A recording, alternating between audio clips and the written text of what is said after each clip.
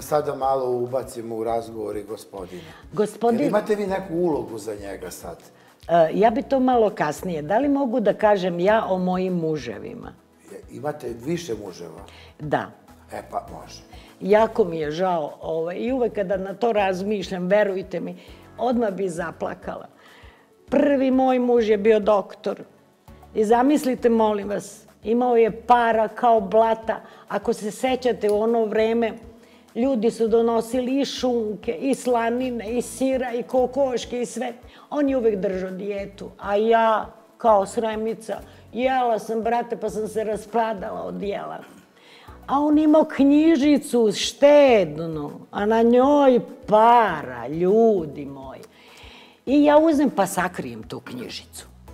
Mislim se ja u sebi, bolje da ja nju sakrijem nego da on to negde nosi sa sobom, pa ako tandrče da ja mogu da te pare iskoristim. I tako ti jednoga dana on primeti da nema knjižice.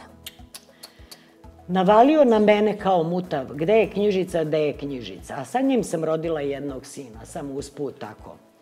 I onda zamislite vi, molim vas, on je dobio srčani udar zbog te knjižice. Bog da mu dušu prosti, baš mi ga je žao. Da, to je prvi. Ostadoše meni pare, a za njih niko nije znao osim mene. A drugi, taj je imao kuća i zemlje, ne znam nija koliko jutara, i traktora, i auta, i svega, ali bio mnogo pobožan. I svaki petak sam morala ribu da mu spremim. Jedan petak je došao, ono servirana riba rumena, lepa, seo on da jede, gledam ja njega, on ždere bre, ne da jede, nego ždere.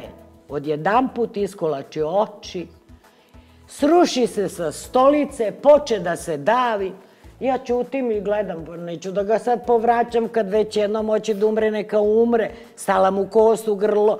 Ne mogu ja sad to da vadim. Da smetate. Ma taman posla. Umre i on. Drugi. Bog da mu dušu. I drugi Bog da mu dušu prosti. Baš mi je ga žao. I drugoga sina sam imala sa njime. Nasledi ja to sve. Ali deci kažem, nema od tog nasledstva ništa. Nismo bili dovoljno godina zajedno. Moram da lažem jer će me deca opelješiti. E sad mislim se u sebi, ovi dvojica su bili matorci. Sad ću mladog da uzmem jer imam para. I ja se zaljubim u jednog kršnog bosanca, a on je bio čovek zadužen, kao neki šef na, na iz, gradnji kuća, hotela, pitaj Boga čega, razumeš. I, ali kršan bio, veliki, bio snažan čoveče. I on kaže meni jednog dana, ženo moja, dosadilo mi na baušteli, ovo i na, na gradnji toj gde smo mi, da jedem suvu hranu. Donesi mi, ženo, molim te, pasulj i to sa rebarca. Mislim se, pa i za tebe bi dala čitavu državu, razumeš, mlad, zgodan, lep. Ja dođem na to gradilište, on na petom spratu, ja mu vičem, dragi, donela sam ti pasulj. On čovek maše, šalje mi poljubce, oklizne se i padne sa skele. Sa petog sprata. Sa petog rasturio se čovek. Ja kažem, molim vas, nosite ga što pre da ne gledam, ne mogu da gledam Bog ga uopšte. Bog da mu dušu. Jel nema više? Bog da mu dušu prosti. Trojica. Trojica. I sad, malo da vam kažem ljudi, ovaj sin od prvoga, on je postao šaptač u pozorištu. Ovaj drugi, tamo pušta neku muziku, neke DJ. DJ. Ja sam bogata. A šta mislite sada? Da li ponovo da se udam ili da se ne udam? Pa, šta misliš? A nek se u... Slušaj, ne za nas dvojicu, ali nek se uda. Žao nam za tog četvrtog. Nemoj, gremo. Misliš da će i taj da nagrabusi? Pa ljudi, sad me ne bi niko ni smeo kad su videli da su tri umrli, četvrti ne bi ni došao. Je li ovo vaš tekst? Da. Isto deo jedne monodrame. jeste. O- Odlični ste. To Hvala. je jako životno i lepo. Mislim, tužno. Jadni ti muže. Pa, n- e, oni su živi, ali... ali, ali, to, Ali su upotrebljeni u, u Je- drami. Jeste. Samo da umru. A što, a što se tiče nove uh, jedne naše komedije koju ćemo da radimo, ovaj, evo jedan mali, uh, mali uvod od, sa mojim glumcem, uh, možemo da vam... I- Jel možemo i njega da čujemo da se, da se i on iskaže? Da, Da može. vidimo kakav je glumac. Izvolite, ovo je emisija You Magazin, premijerna predstava, prvi put uživo. Hvala. Ženo, gde si? Ženo, Pa tu sam. a tu si. Da. A znaš da mi ništa nisi spremila, ja sam gladan. Razmišljaš ti malo o meni ili ne? Ništa nisam ja. Pa čoveče, jesam juče kuvala? Jesam kuvala juče? Nisam. E pa i danas nisam. Jedi to što je bilo juče. A ni juče nisam ja, ni danas. Jako mi je žao. Slušaj, neće više tako moći, samo da znaš.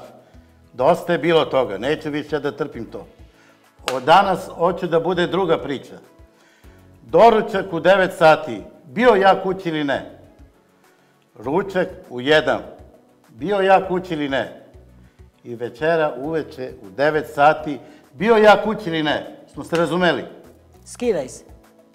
Što sada se skidam? Podne, zašto sada se skidam? Šta ti je? Pa jeftinija mi struja da operem tu prljavštinu sa tebe. Ja A s druge strane, sad ću nešto da ti kažem. Ja tebi ovako sad postavljam uslov. Ja hoću tri puta dnevno da vodim ljubav. Bio ti kući ili ne bio. Ja, ja, kako? Je to isto vaš tekst? Sve to moje. I to će biti predstava. Ovo sad što smo... Vežbate. Pa, ne, ne, ne znam šta Ma neću ni da jedem, brate. Ne moraš ni da jedeš. Kako kad radim? Da ti kažem, mogo bi malo i da skineš koje kilo kao i ja za predstavu, čisto radi glume. Pa ako budem sa njom, ja neću ni da jedem. Šta nam je još aktuelno, šta da e, unapred kažemo šta će se dešavati u oktobru, kad vam počinju uopšte te predstave? E, mi, počinj, mi smo trebali već u 1. septembra da počnemo, međutim, e, jedan broj mojih glumaca se nalazi na godišnjim odmorima, tako da ćemo polovinom septembra početi sa probama i e, prva predstava koja će, to je jedan mali deo ovaj, od ovoga što smo nas dvoje odglumili. A, inače, kažem, imam, izvinjavam se, imam u planu da radim ovo Ubi me, brate, ali e, moram stvarno da nađem ljude koji mogu da se unesu u tu ulogu. Otprilike e, smatram da će to biti isto negde polovinom septembra, da ćemo napraviti audiciju i gde ćemo pozvati ljude koji imaju interes da tako nešto mogu. Gde će biti audicija? Za sad ne znate. E, Biće e, isto u 18. bicirku. U, objavit ću ja Dobro, na, mojoj vašim, strani. e, vi imate dobre društvene mreže, Da, posećene da, da, i da, ljudi znaju za, za Tačno, tačno. Nevenu Džaju.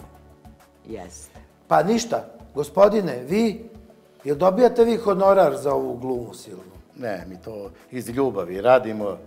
Mi smo druženje, udruženje, volimo se. Među lepim radimo. ženama, To je naše zadovoljstvo. Ujedno i glumimo. dobro.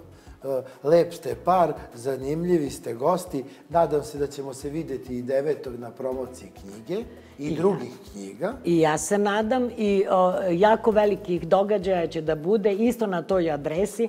Pa vas pozivam, ljudi, pratite naše mreže, vidjet ćete tamo gde se šta održava, podržite naše ljude i e, ne samo da se sastajemo e, zbog knjiga, nego i da se družimo i da jedno drugom pružimo priliku da se sprijateljimo, da jedno drugom pomognemo na određeni način. I da se nasmejemo. I da se nasmejemo, svako i zabavimo.